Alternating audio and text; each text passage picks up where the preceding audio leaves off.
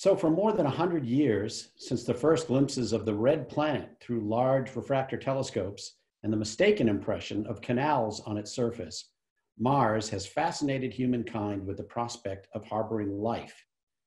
Let's jump ahead, however, 100 years to right now, to present day, and Jupiter's moon Europa beckons with even more compelling evidence that life might exist in the ocean depths below its icy crust. So good evening, ladies and gentlemen, and welcome to the third installment of our now virtual SETI Talks lecture series. This is the monthly lecture series produced by the SETI Institute in Mountain View, California. I'm Bill Diamond, President and CEO of the Institute. We are a 501c3 nonprofit research and education institution whose mission is to seek out life beyond Earth and understand and explain its nature, origins, and evolution. Like people the world over, we're currently doing this work from home, but our research, education, and outreach programs continue unabated. COVID 19 has forced us all to rethink how we live and work and function under truly unprecedented and extraordinary constraints. Tonight's virtual presentation is just one example of how all kinds of organizations are leveraging already familiar tools and technologies to overcome these constraints and stay mission focused. The SETI Talk series is usually presented live at SRI International in Menlo Park, California.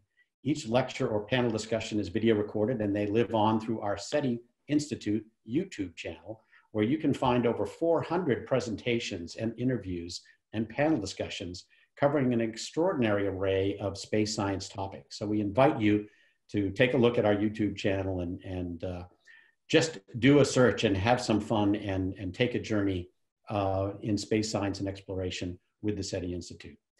In our live presentations, we like to poll the audience to find out how many are attending a talk for the very first time. So we're continuing that tradition in this virtual environment and ask you to let us know if this is your first SETI Talks experience.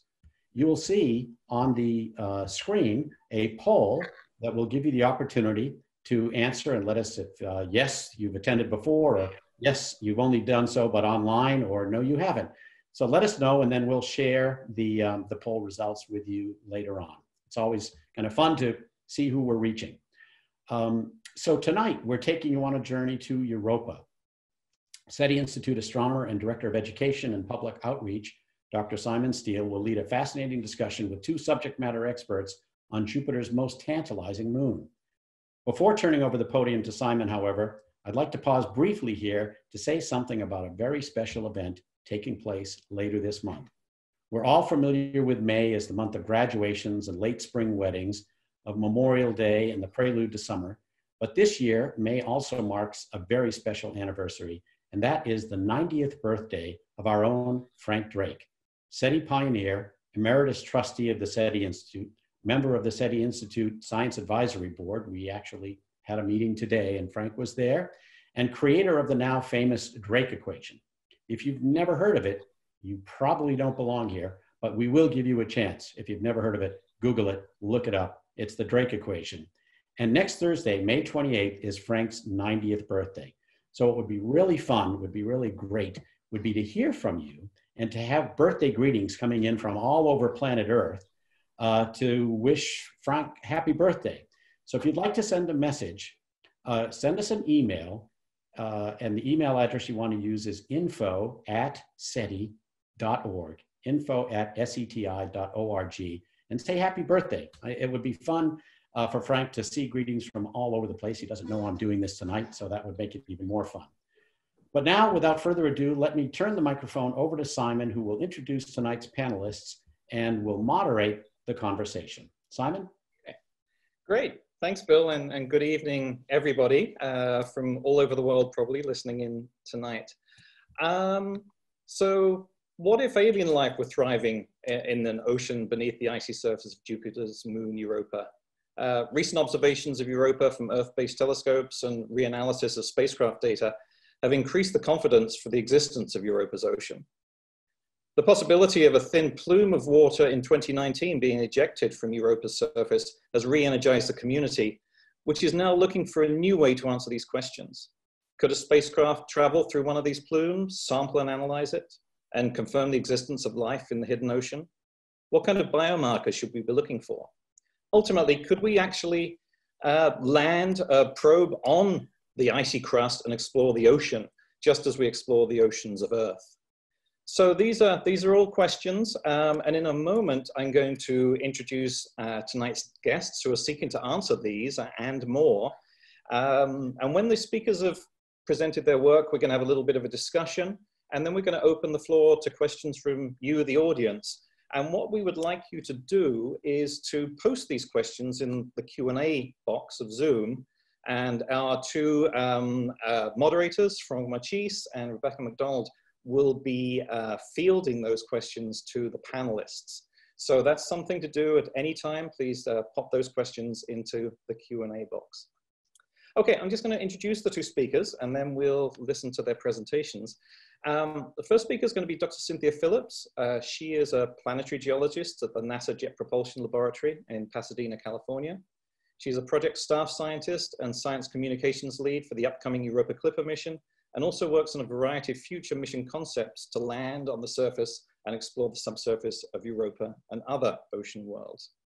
Her scientific research has involved small-scale surface processes and surface subsurface exchanges on icy surfaces, that's a lot of surfaces, uh, as well as interests in scientific image processing, remote sensing, impact craters, surface geology, and geophysics. Uh, Dr. Phillips received an AB in astronomy and astrophysics and physics from Harvard University PhD in planetary science with a minor in geoscience from the University of Arizona. And she spent 15 years as a research scientist here at the SETI Institute before joining JPL.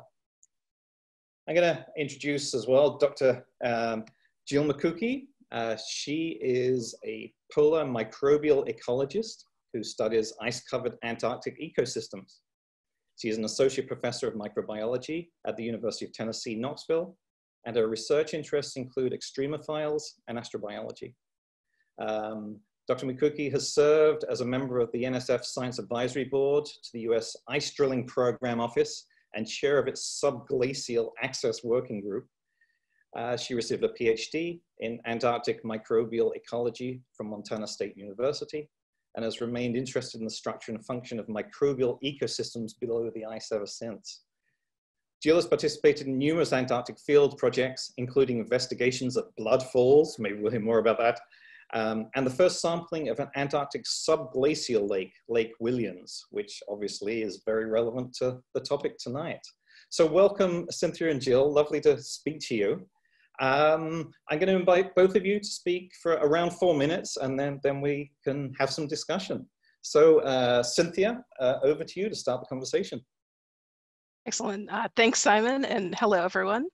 Um, let me share a picture with you. So here's Europa. Now you can see it. You can see how gorgeous it is. So this is the world that, again, it's, it's about the same size as Earth's moon, but now that you can see it, you can see how different it looks. The surface is covered with a bright smooth regions that are made up of mostly of water ice. And then there's darker areas that we think are made up of non-ice materials that have been mixed in with that ice on the surface. Um, we can see cracks, we can see ridges, we can see places where that icy surface has been broken up. And we think that Europa is one of the best places beyond the Earth to look for life. And this is because we think that it has the planetary ingredients for life. And when I say life, this is really life as we know it. So we think that life that we find here on the earth, it needs liquid water, it needs the right series of essential chemical elements. Those are things like carbon, hydrogen, nitrogen, phosphorus, sulfur, oxygen. Um, it needs some kind of energy source, so chemical energy, so that it can sustain reactions that can help life to grow and thrive and reproduce and change over time. Um, and then finally, we think that life needs stability. We think that for life to form and evolve and change, um, you need to have a stable environment. You need to have a place where there's enough time for these reactions to take place. And we think that Europa meets all of these requirements. Um, in fact, we think that Europa is one of the best places in our solar system to look for life beyond the Earth. Um, a lot of people like Mars, and you know, Mars is great, but Europa has an ocean that we're pretty sure is there today that has more water than all of Earth's oceans combined. And here's what Europa might look like below its surface. So this is an artist's conception here that shows what's going on at the very surface of Europa, where we have regions, we have cracks, we have places where maybe material from that liquid ocean is moving up through the ice shell um, and could make its way to the surface. Um, this isn't a crazy idea. We've actually seen plumes of material being ejected from the surface of a tiny moon of Saturn called Enceladus. And so it's possible that such plumes could also be, ex be existing on Europa, although we haven't found any really definitive evidence of those plumes yet. Um, so on Europa, there's a couple of really interesting places to look for life. So there's the surface, of course, but one of the problems with the surface of Europa is that it's not like the surface of the Earth. There's no atmosphere, and the surface is bathed in, in punishing radiation. So you can see the charged particles in this image. That's material that's accelerated by Jupiter's strong magnetic field, um, and it irradiates the surface. So if any life was exposed to the vacuum at temperatures well below zero, we're talking temperatures of about 100 Kelvin on the surface, um, and to this punishing radiation, if any life did make it up there, you know, those fish aren't going to live for very long. And we don't actually think there's fish on Europa, unfortunately. Um, but if you go down below the surface, um, as you move further down, it turns out that ice is a very good shield. It could help to protect the subsurface from some of that radiation. And it's possible that inside those ice layers, there could be pockets of liquid water. You can see there's some ice fractures and veins maybe in this ice layer. We don't know how thick that ice layer is. We think that it's at least 10 kilometers, maybe thicker, so maybe more like 20 or 30. Maybe there's places where it's thinner. Um, we know from measurements that have been taken by a previous spacecraft to visit Europa that the whole layer at the surface that includes the ice and the water is about 100 kilometers or so. So below this ice layer is this liquid water ocean. And so if we're thinking about places where life might want to be, the the cracks and fissures and maybe melt lenses or kind of lake-like inclusions in the ice layer are a good place to look. Another good place to look is at the bottom of the ice layer. So where the ice touches that ocean layer, that could be another good place where life might like to be. But a really intriguing place um, also is at the bottom of the ocean, where the ocean touches the rocky interior of Europa. And there, it's possible that we could have hydrothermal events like we see at the bottom of Earth's oceans. And as we know from studies of the deep oceans of Earth, we know that there's there are amazing ecosystems at the bottom of Earth's oceans. And so it's possible that life could survive and thrive deep down at the bottom of Europa's ocean. And so all of these are very interesting places where we could look for life. But again, I'm a geophysicist, I'm a you know, planetary geologist. I don't study life. And so that's why I'm so excited to get to chat today with uh, Jill, who's an actual card carrying biologist. Mm-hmm. So I'll turn it back over to you, Simon. Okay.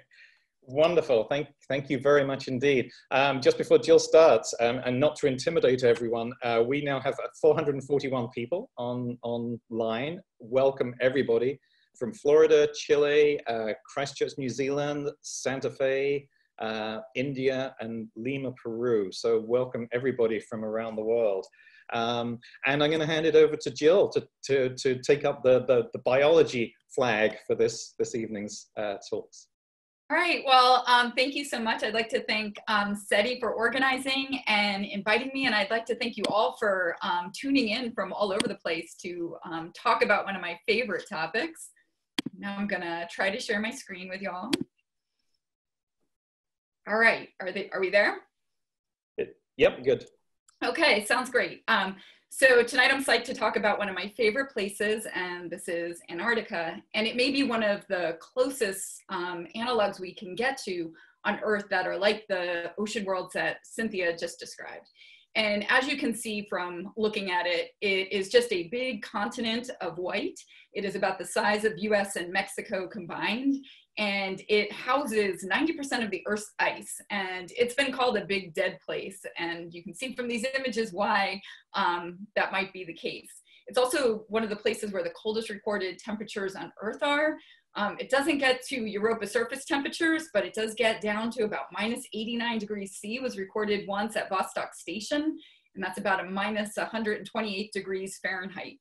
And so um, what this looks like to me though is a microbial ecosystem. I know folks usually think of penguins and seals, but if you can get into and below the ice, it's a really great place to study cold loving microorganisms and pretend you're on an ocean world um, like Europa.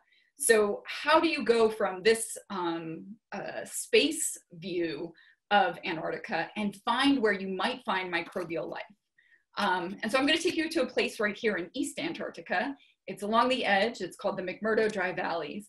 And to look for life in a place like this, you would first have to look for where the water might be. And so you'd come in from an aerial view and look at it from uh, some form of remote sensing you'll try to get a little bit closer and take some high resolution images and see if you can find a potential spot that looks intriguing. And so here's a picture of Taylor Glacier, and this is an, actually a very intriguing place. And then once you find a great place that you may want to sample, maybe you can go there with some fancy instrument. This is actually a picture of a thermal melting probe um, called the ice mole that can navigate through ice to collect samples.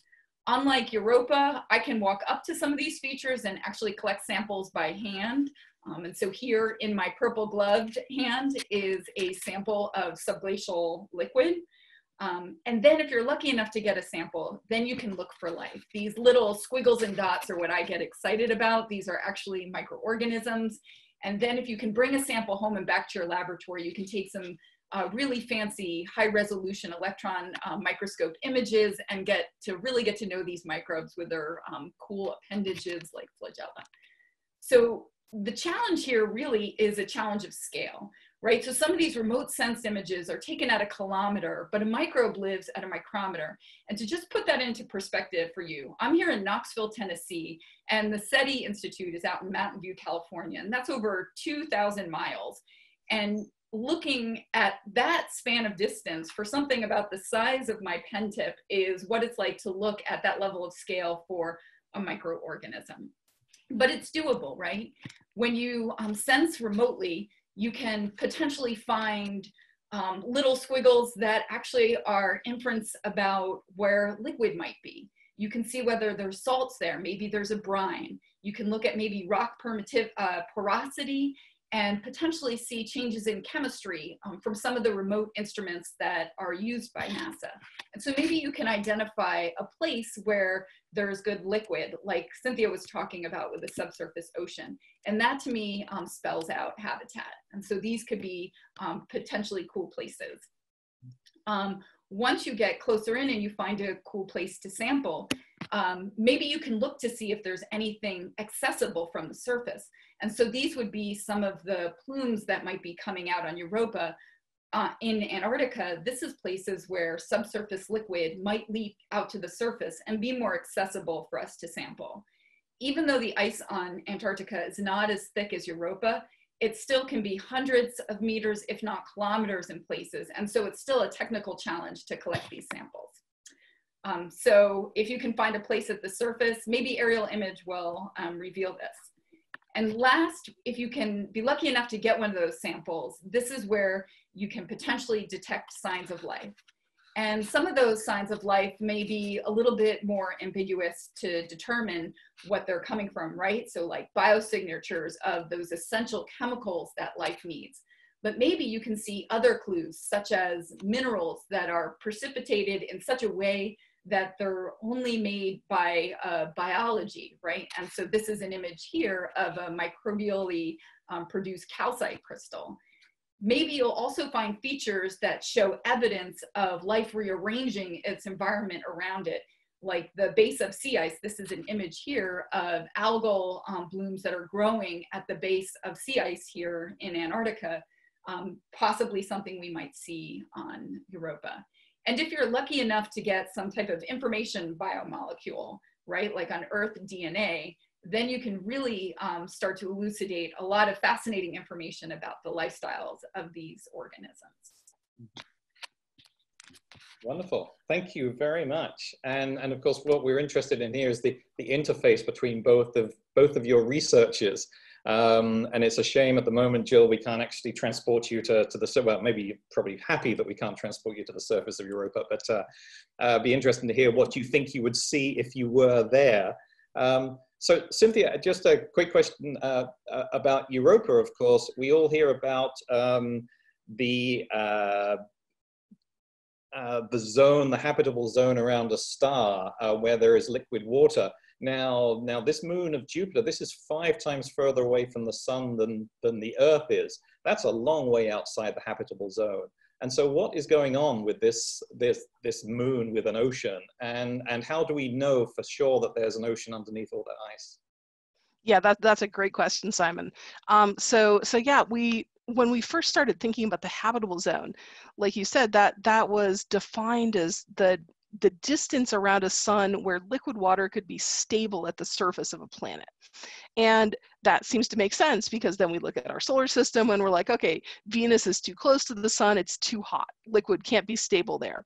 Mars is a little bit too far away, it's too cold, but you know, here we are in the habitable zone, you know, the Goldilocks zone where Earth is just right.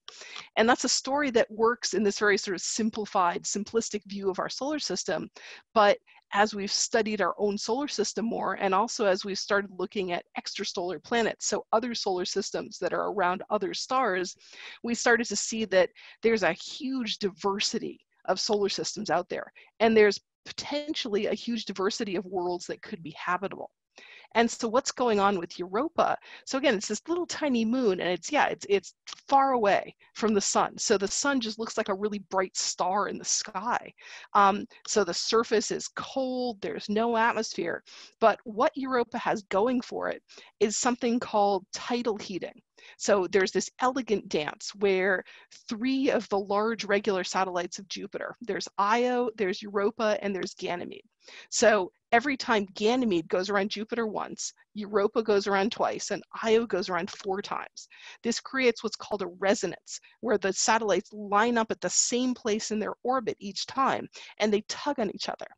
And those tugs, those gravitational pulls, mean that the orbits stay slightly non-circular. Um, and that's important because generally, if you just had one moon, if it was orbiting Jupiter, the orbit would turn circular over time. All of the kind of the bumps and wiggles and differences in distance would even out, and you would just get a nice, perfect circular orbit. But because of this resonance, the distance from, say, Europa to Jupiter varies. Sometimes it's closer, and sometimes it's further away. That matters because of tides. So Jupiter is the most massive object in our solar system, and Jupiter's gravity pulls on Europa's surface. When Europa is a little bit closer to Jupiter, the surface gets tugged on, it gets stretched. And then when it's a little further away, the surface goes back down. So if you were standing at a point on Europa's surface, it would be like the ground would go up and down, um, maybe as much as 30 meters over the course of this tidal cycle. And so tides happen on the Earth. That's what happens when the moon's gravity tugs on the Earth. And that's what makes the oceans move and slosh back and forth. That same process happens on Europa, but there's so much more force that we think that that produces tidal heating.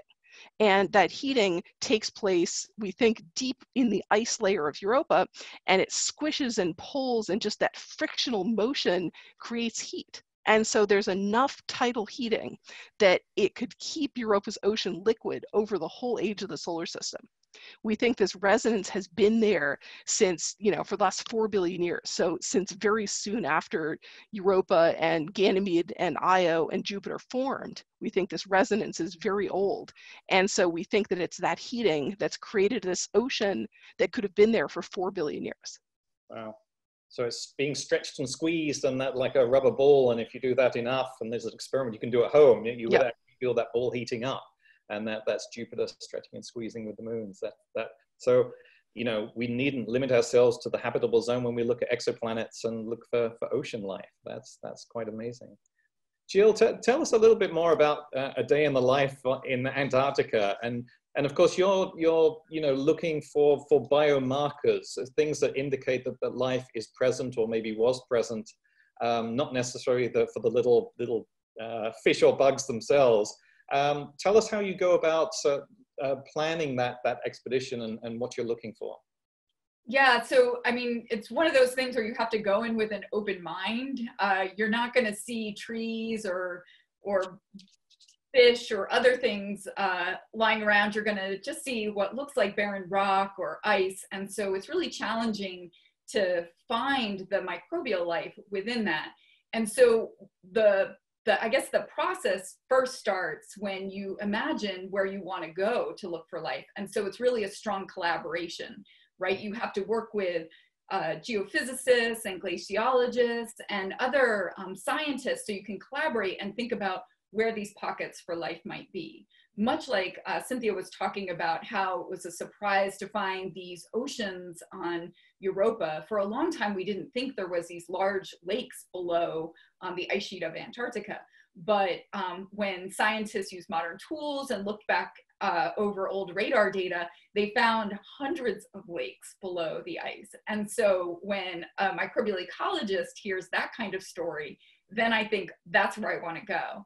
And so that's then where the logistical package starts to come together, where you think, okay, uh, what do we need to get through the ice? Well, I guess we need a drill of some kind. And so then you have to reach out to engineers and work with them to help you design tools to collect your samples. And then you start thinking about your basic human needs, like how do we get there? What kind of protective clothing do we need? What kind of sample gears? So in the one sense, you're, you're trying to think about all the things you need for your science, but then you're also trying to think about all the things you need um, as a human to be operating down there and, and living and sampling. Yeah, because you know you're complaining about Antarctica. You know it's it's cold and you know wet and everything, but this of course is nothing compared to to Europa. It, it, it's uh, the extremes of, of, of what's on the surface of Europa are, are quite phenomenal, aren't they, uh, Cynthia? Um, tell us tell us what it would be like for an expedition there. Um, an expedition to the surface of Europa would be uh, very short lived unless you brought a whole bunch of protective gear. Um, basically, this, the, so there's there's no atmosphere so you'd need like a serious vacuum spacesuit. Um, it's really really cold so you'd have to stay warm but even beyond that you'd have to deal with that radiation. The radiation is just punishing. Um, if you were just in a standard kind of nasa issue moon type of spacesuit you could probably only survive on the surface for you know maybe tens of minutes before you got a lethal dose of radiation. So the surface of europa really is not going to be a good place to build your next you know resort mm-hmm. um, but i you know and I think that one of the good things about Europa is that ice is a pretty good insulator. And so if you can get down below that ice somewhat, then um, the radiation is really a lot better. And so I think that, you know, eventually when we go and build our, our, our field camps and our, you know, luxury hotels in Europa, they're going to be buried beneath the ice. And maybe you have some nice like radiation proof domes or something so you can see Jupiter in the horizon, but you're probably not going to be walking around on the surface too much. Um, and that's actually a concern. So we're, we're thinking about a, a, future mission called Europa Lander that would actually land on the surface of Europa um, and dig a little bit below the surface and take some samples and bring them on board for study. And the radiation environment is certainly one of the constraints that we're dealing with. Um, even a radiation hardened spacecraft where you put most of the instrumentation inside of a shielded vault to help protect all of your electronics um, even something like that can probably only survive for you know a month or two on the surface before it gets totally fried. Wow yeah. And i didn't mean to, to say that antarctica wasn't a difficult place. That's terrible. That came out so wrong. No uh, no it's fine and I, I don't complain about the cold when i'm down there uh, so jill if you were you know and we'll come back uh, in a moment cynthia to talk about the europa clipper mission. Um, what sort of things, Jill, are, are you looking for as, as a biologist, as somebody who, who studies biomarkers and, you know, um, the effects that, that life has on an environment? Uh, what sort of things would you be looking for um, uh, in a mission to, to Europa? Either sort of look getting close to the surface. Obviously, you'd like to land something, and maybe we can talk about that later. But but uh, what what sort of biomarkers? What sort of things are you thinking you're looking for um, on the surface? Uh, oh, on the surface, I was just going to say what um, Cynthia was saying about um, human landers. It's the mm. same thing that I would expect for microbial life, right? Like below an ice sheet is actually a pretty comfortable place to be, and you have a lot of potential for nutrients and energy um, sources coming from, for example, these hydrothermal vents. But if I was only able to access the surface, given all of the logistical constraints, I would look for uh, places. Oops, sorry, there's a the poll came up. Um, I would I would I would look for places of differences, right? Like edges. So um, Cynthia pointed out some of those um, what look to be salt-rich stripes on the surface, right? So maybe these are places where parts of the subsurface ocean have come to the surface, and in there potentially some biomarkers can survive. We see this in Antarctica. Granted, it's not as harsh on the surface, but we do see evidence of subsurface life eke out onto the surface either through metabolic substrates, so um, things that microorganisms have breathed out, like we breathe out CO2, microbes breathe out all sorts of um, metabolites, not just um, energy metabolites like methane or CO2, but other volatiles that uh, talk about their lifestyle in a, in a chemical form. And mm-hmm. then maybe also some of these mineral precipitates, maybe the salt crystals are shaped differently because you have they've interacted with life in some way. Mm-hmm. Okay. Because of course, until we can get drilled down, as you say, we, we need to have stuff hopefully rising to the surface and, and leaving some sort of deposit on the surface that gives us gives us a hint that something might be down there. Yeah. Yeah, it's still probably beneficial to get a little bit below the surface though, if you if you possibly can. Yeah. Yeah. Cynthia, tell us about um, uh, Europa Clipper. And you know some of the design constraints that that has considering the, the harsh environment um, because that's that's that's a, a, limitation isn't it on on how close and how long you can stay around Europa yeah, absolutely. Um, and so if you were on Europa, I'd put up my uh, my my fun backdrop that has some dinosaurs in a radiation hardened spacesuit. So you certainly would need some of those if you were going to be on the surface. Yeah. But um, so Europa Clipper is a great mission that we're working on at JPL um, that's going to launch um, sometime in in the the middle of this decade. And um, when you think of a mission that's going to map something from orbit, um, you usually think about missions to uh, to places like Mars, where you can just go into a nice stable mapping orbit, um, and you're able to you're you're able to just look at the surface um, from a nice consistent view. And missions like that are great to places like Mars, but for somewhere like Europa, unfortunately, if you were in orbit around Europa, you'd be subject to that same punishing radiation. Um, and so a mission like that could, you know, maybe survive a month in orbit. And that's just not enough. And so fortunately, um, Europa Clipper, it's a mission that's going to have multiple close flybys of Europa, but it's actually going to be in orbit around Jupiter. And so this was a really clever strategy that the, that the mission planning folks at JPL came up with, where basically you, you go by Jupiter, so you, you, you circle around Jupiter, you go in for a close flyby of Europa. Um, and as you go in, you're kind of going into that radiation hot zone. It's sort of like you hold your breath, you get as close as you can to Europa, you turn on all your instruments, you go flying fast it pretty fast. Uh, you take all of your close approach observations, and then you get out of there. You go back into this orbit, back around the other side of Jupiter it's kind of like you take deep breath you know you've been underwater you finally get to breathe again and then you have some time a matter of you know days or so um, you know maybe as much as two weeks to um, finish taking obs your observations, to process them on board the spacecraft, to downlink them back to Earth, to uplink the new plans for the next orbit, um, and then you go in again for another flyby. Mm -hmm. So what Europa Clipper would be able to do is have um, about 45 or 50 close flybys of Europa um, over a couple years in the Jupiter system. Um, and so that means that we can map um, a very large percentage of the surface um, at very good resolution.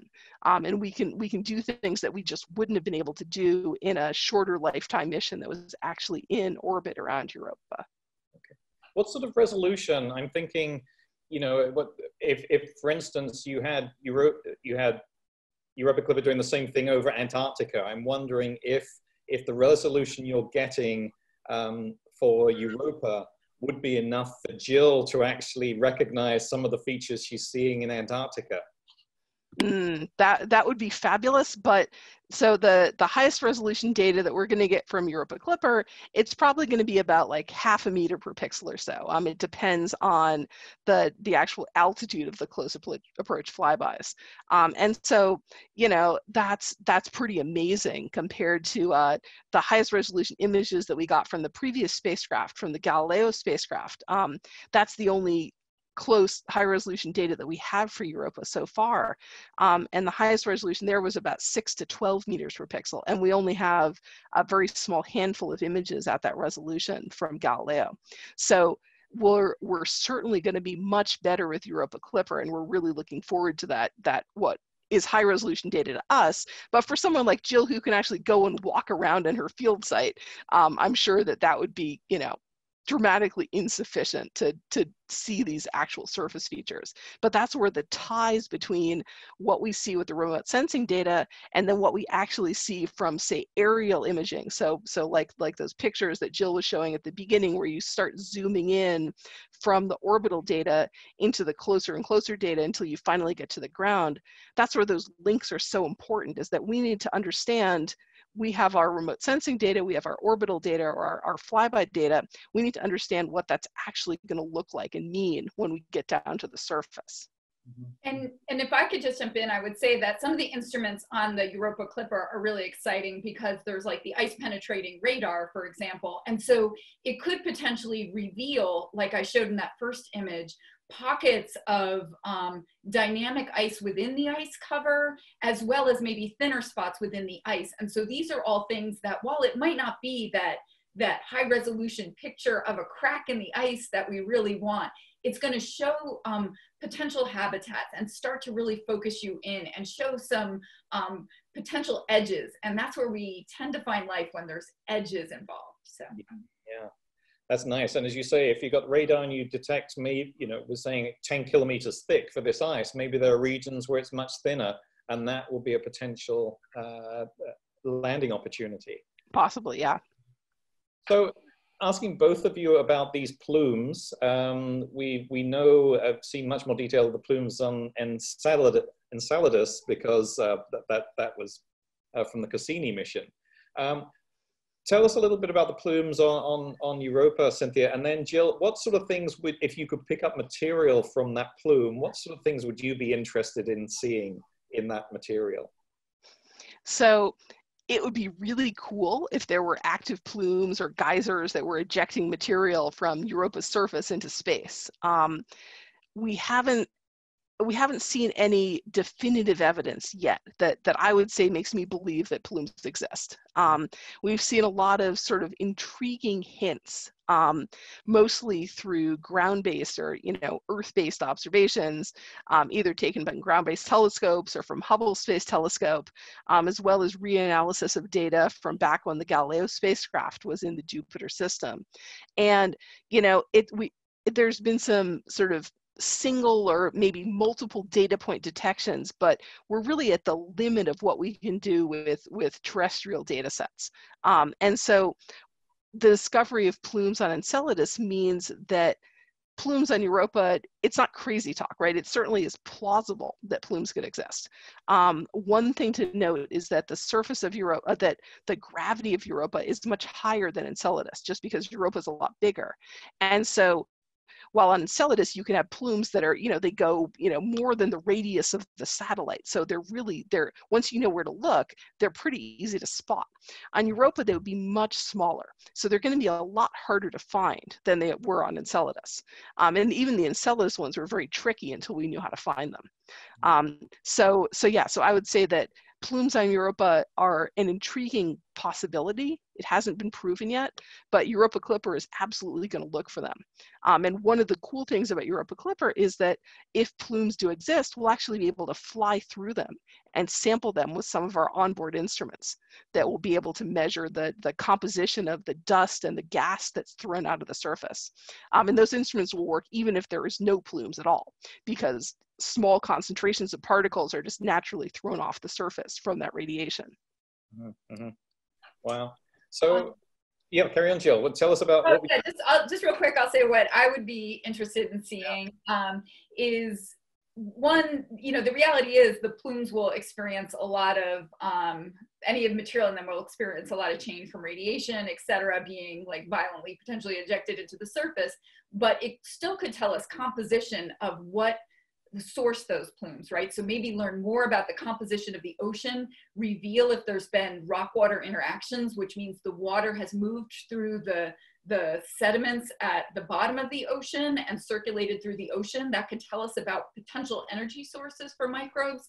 And if there's any compounds that have some type of isotopic fractionation, it could reveal um, elements of selective feeding where life selects certain molecules. So there is a lot of potential in the absence of being able to drill through that thick ice cover to learn about what that ecosystem might be like.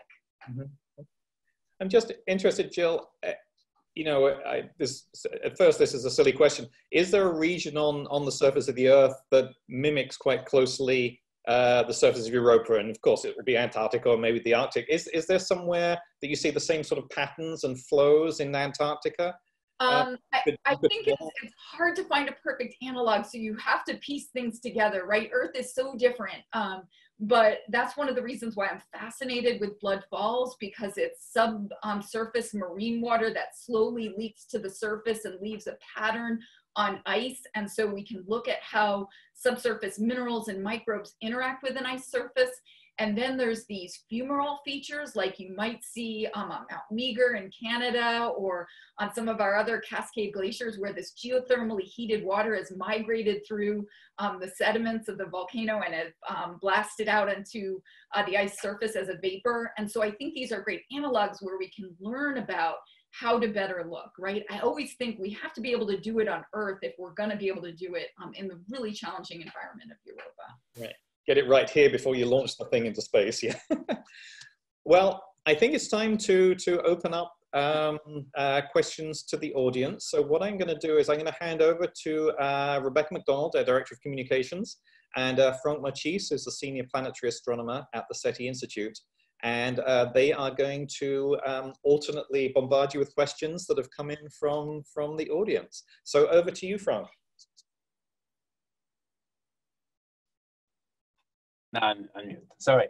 Uh, thank you. So we had more than 100 questions. So we are not going to be able to answer to all of them, but I, we have already very interesting questions and most of them have been answered so far. We get one question from Alex Story, uh, who is asking about the biosignature that might be detected from orbit, assuming plumes either exist or do not exist. And if the, to talk about the difficulty of taking samples to analyze them. Uh, Jill, do you want to take that? Um, sorry, I was, uh, so that was the difficulty of collecting samples from the plumes? Correct. Um, so I, yeah, uh, that's kind of a combo question, I think, for Cynthia and I. Um, you know, on Earth, it's very different. Um, we can set up a time lapse camera and try to sneak up on some of the uh, brines leaking out of a place in Antarctica like Blood Falls, and then I can walk up and collect a sample or we can try to drill into it and collect it. But on a place like Europa, um, you would need some type of um, capture mechanism. So you would need something that could um, orbit the planet. And Cynthia already talked about some of the challenges with the radiation. And then you'd need some kind of net, right? And I know there's uh, different types of gels and things like that, but you'd have to be able to collect that sample um, so that you could analyze it. Yeah, and so on uh, the Europa Clipper spacecraft, we have two different instruments. We have a dust detector called SUDA, and then we have a mass spectrometer called MASPEX. And so the two of them together will be able to look at gases that are ejected from the surface as well as dust particles. Um, they're not going to have something like a, so, so they'll be able to look at the composition of material.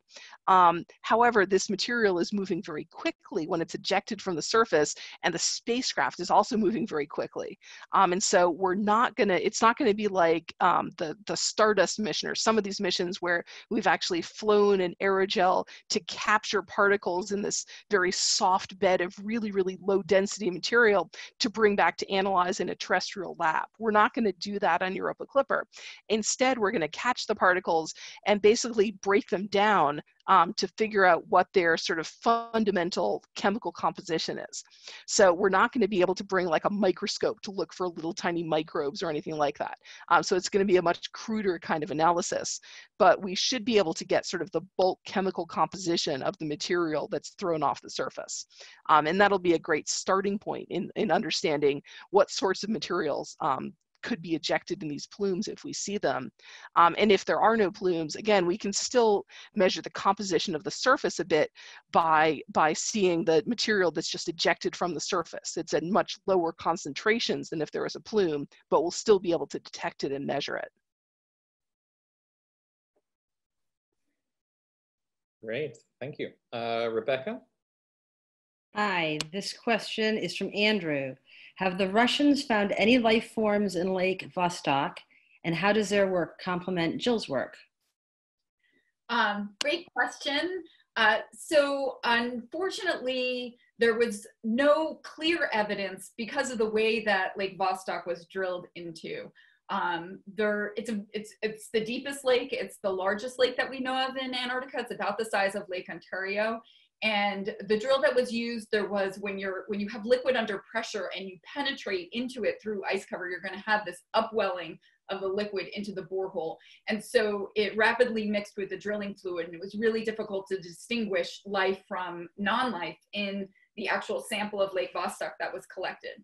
However, there's been a lot of work on the ice cover itself, right? And so that's why I'm interested in variations in ice cover because part of that lake water from Lake Vostok actually freezes onto the bottom of the ice and makes part of that um, ice that you can collect as a core. And you can look at that and start to think about what some of the chemical constituents and microbial cells might be like in um, that ice cover does the Russian work inform our work at, on subglacial Lake Whillans? Absolutely. Um, the one of the wonderful things about Antarctic work is that it's um, highly collaborative and it's an international community. This is really, these are really hard, complex problems. And so um, we meet together and talk about some of the challenges that we face and some of the protocols that we use. So um, I think Vostok work um, has really excited the community to look for other lakes and potentially lakes under thinner parts of the ice cover, which is what we did when we went to Lake Whillans. It was only 800 meters of ice. Um, as opposed to four kilometers. So yeah, that's it's an it's an awesome question, and there's still so many lakes to explore. So um, yeah, we need to band together to do it. Okay, well, we're gonna stay in the topic of uh, Antarctica with a question from John B. Uh, that's for you, Jill. How specialized are the microbes you have found in subsurface lakes in Antarctica? Are they found elsewhere on Earth? Could we expect the same pattern on Europa? That is an awesome question as well. And so um, I showed that picture of a microbial genome on um, my slide. And so there's a lot of information in that, um, that those molecules, right? It can tell you a lot about the microbes. So when you look at their family tree and who they're related to, many of these um, subglacial lake microbes are related to other subsurface microbes that um, from places that we've explored on our planet, right? Whether the deep subsurface or whether marine sediments uh, around the globe. And so there is some heritage there in terms of relation. But in terms of specialized function, that's what's in that genome. And some of it, we don't even know what it does, like what some of the, um, the genes are for. But microbes in subglacial environments do have unique adaptations for living in the cold, for living in the absence of sunlight, and for taking advantage of the food buffet that is there for them, which is um, these crunched up rocks below the glacier. Um, so, okay, so that was the first part of the question. And then the second part um, so yes, there's some commonalities and some differences when it comes to subglacial microbes. In terms of what we expect on Europa, I mean, you've got to keep an open mind. It could be really, really different.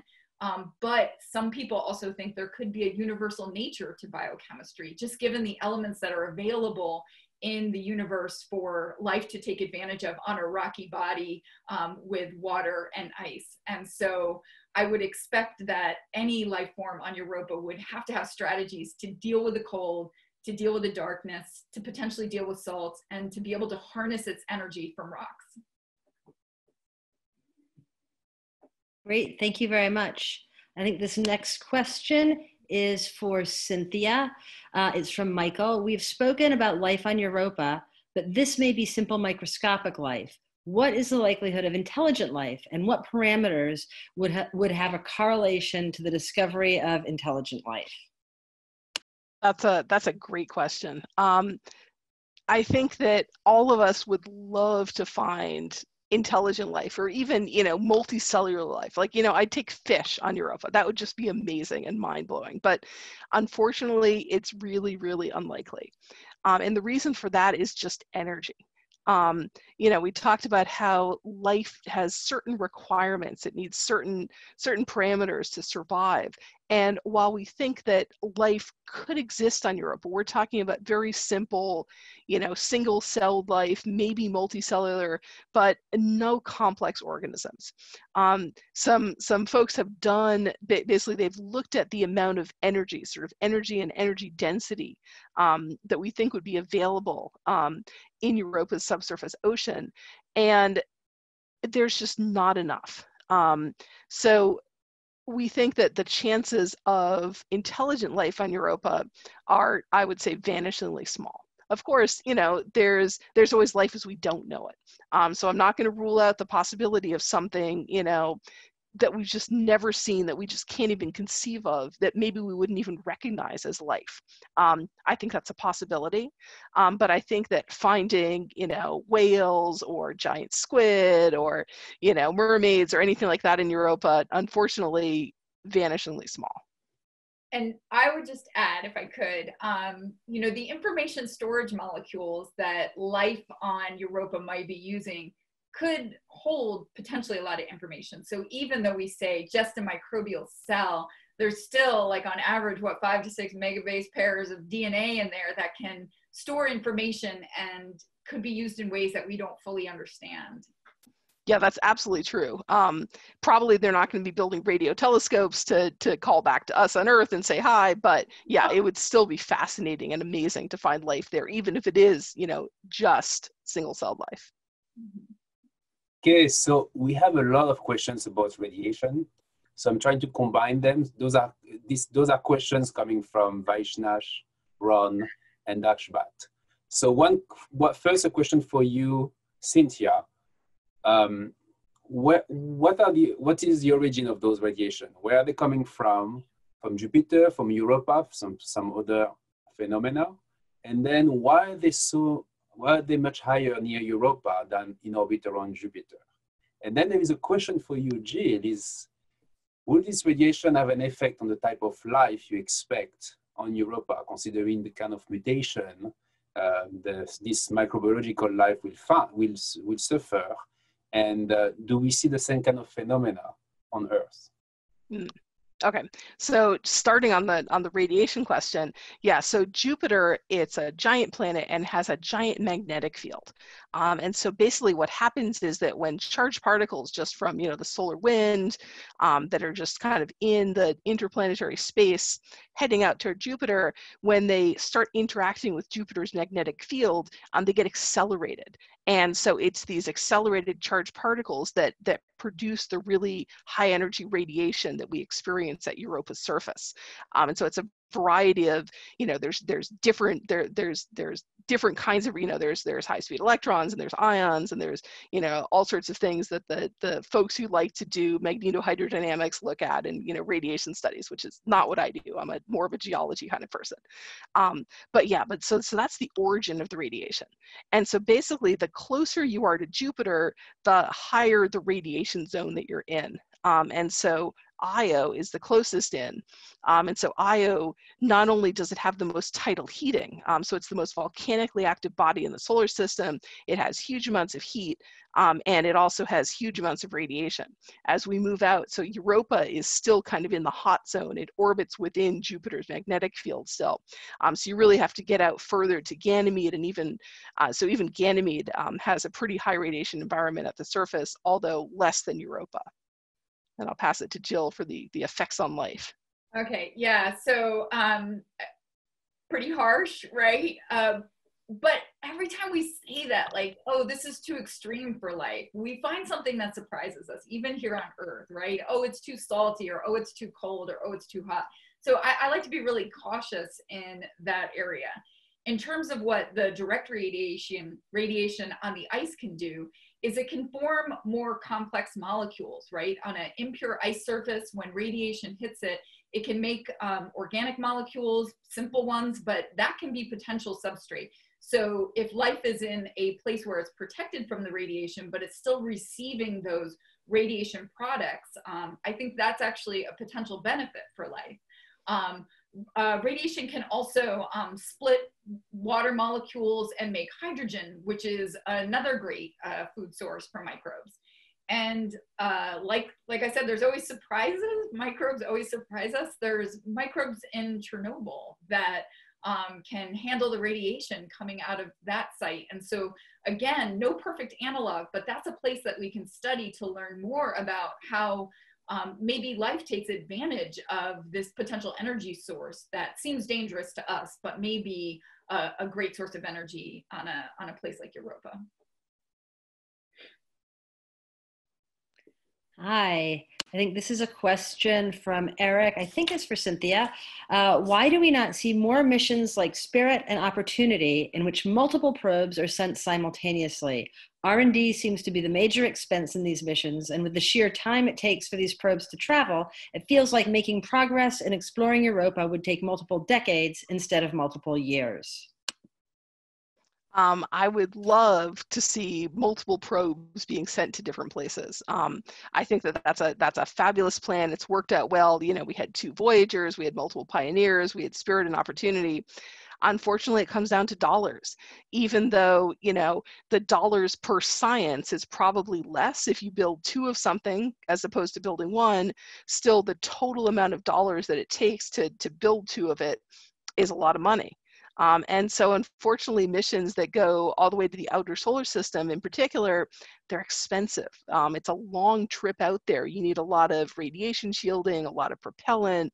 Um, Europa Clipper is gonna have, you know, solar panels that are the size of a basketball court. I mean, it's a difficult place to send missions. And so while I certainly would love if we had two of them, or maybe we have one that goes around Jupiter and then one that we send out to Saturn or something, I mean, that would be amazing, but it comes down to money.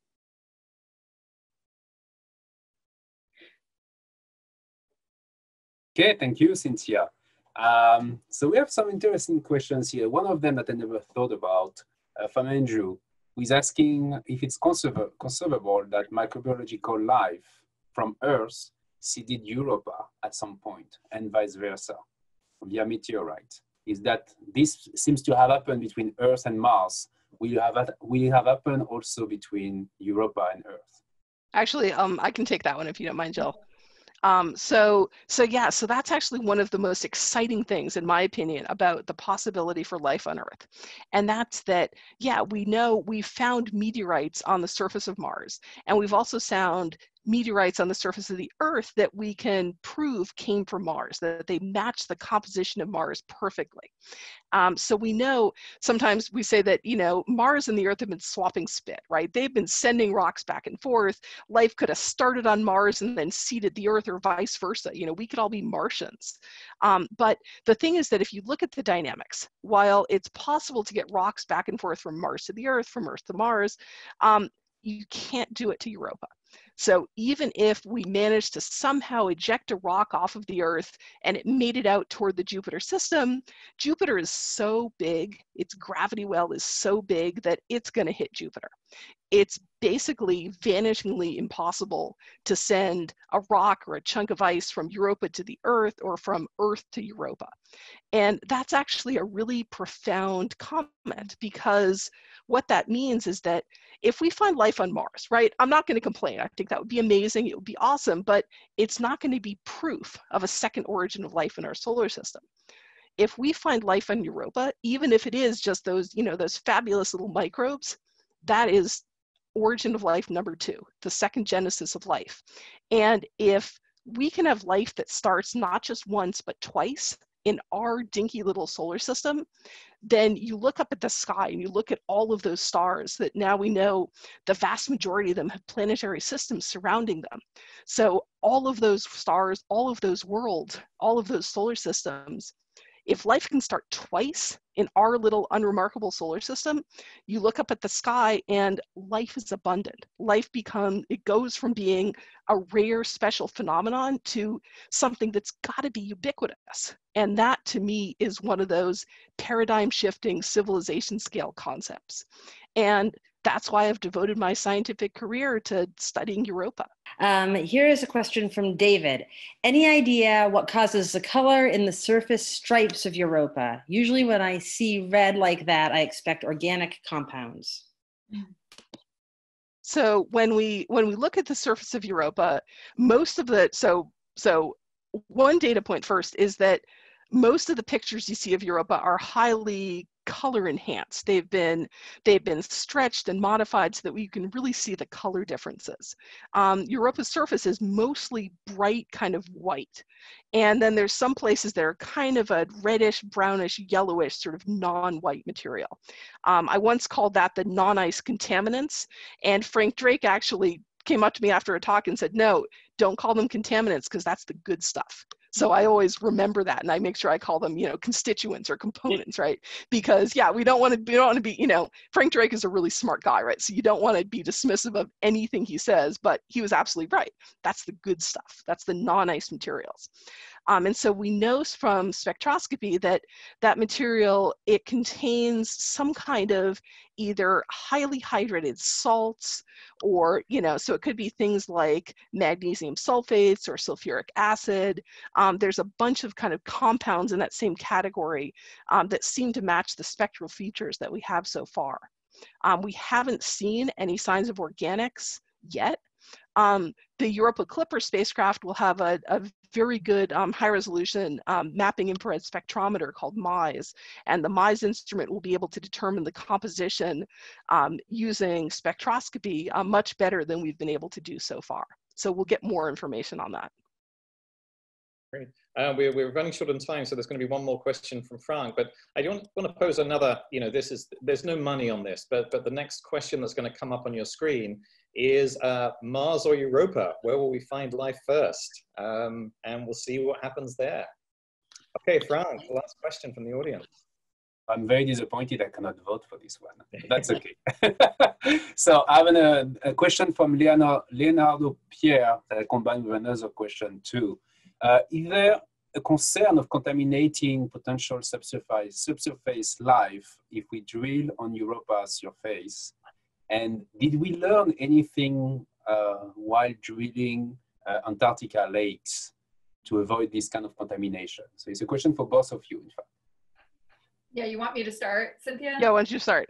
I think about that all the time. I'm always worried about contamination. And so um, we take it very seriously in Antarctica, and it's really hard not to bring something from the surface into these subsurface lakes. And so the best um, prevention. I mean, we clean um, using some of the specs developed by NASA for their clean rooms, the rigorous way that they clean their instruments.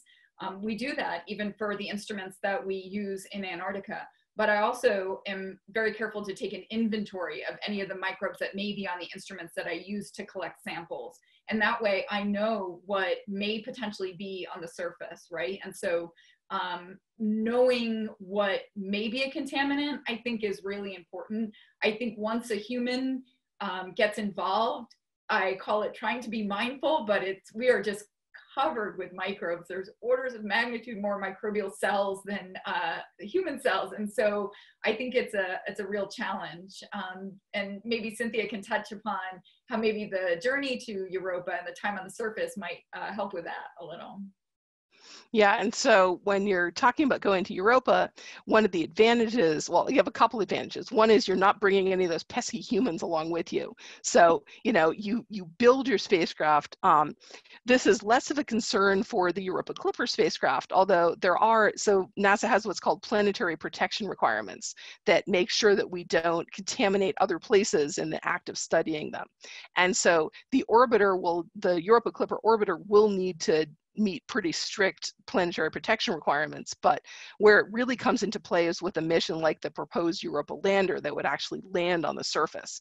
Um, and so there we need to be extremely careful um, not to contaminate the surface, um, not to bring anything with us.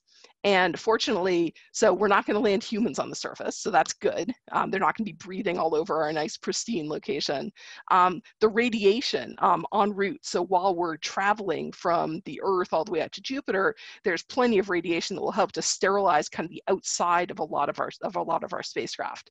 Um, and then yeah, we do the, the the same things that Jill was talking about, where we try to very carefully sterilize everything on the inside as well as we can, and we also take a very careful inventory of everything we're bringing with us. So yeah, the last thing we want to do is to go there, discover life, and then oops, nope, sorry, that was just a hitchhiker from Earth. Someone sneezed on the spacecraft.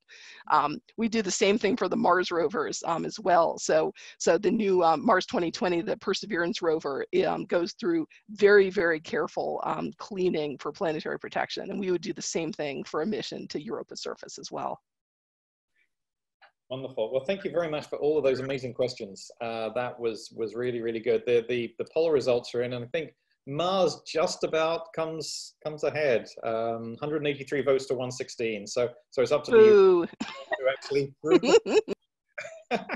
um, and before I hand back to Bill, just, just one um, uh, wrap up question for both of you. Uh, thank you very much for, for all this amazing stuff. I, I, have learned so much. I'm not a planetary astronomer, so this, this is all very exciting to me. Um, so if you had a, a, wish list for the next mission or the next experiment, doesn't have to be, you know, off planet. Um, and, you know, we don't have to worry about contamination issues. Cynthia, what would you like, what would you uh, like to build I want to land on Europa's surface. Um, and, you know, that's probably not going to surprise anyone, but it's not so much for the biology, right? I mean, you know, the biology and the chemistry and, you know, all of the stuff we can do from the surface will be amazing, but I'm a I'm an image processing person and so what I want I want that picture from the surface. I want to actually see what it would be like to sit or to stand on the surface of Europa and look out and see that ice covered horizon, see Jupiter in the sky above you. It's just going to be amazing. I can't wait to get that picture. So that's what I'm in it for, to be truly honest. Jill, uh, no budget restrictions on this. What would uh, you like? I mean, I want to sit. I want to see that picture too. I think that sounds amazing. Um, ice is a, a fabulous ecosystem. It doesn't seem like that at first, but there's really all sorts of nooks and crannies. And so, if I had an endless budget, I'd want to um, create a large walk-in uh, Europa cooler where I could set up all different types of experiments, long-term experiments that like future generations could actually look at these microbes to see what true growth rate might be like in a, in a really cold system. Um, and I, I, just wanted to touch on Cynthia's uh, statement about this uh, second origin of life. I think that if it happens on Europa, it's going to be really different. The conditions are really different than even what early Earth was like. And so I just think there's there's so much potential to learn there. Great. Thank you so much, both of you. Um, and to wrap up the evening, and thank you everybody else for, for tuning in. Um, this will be available on YouTube, I believe, and, and Facebook as well. Uh, it's streaming. So um, I'm going to hand back over to Bill to wrap things up.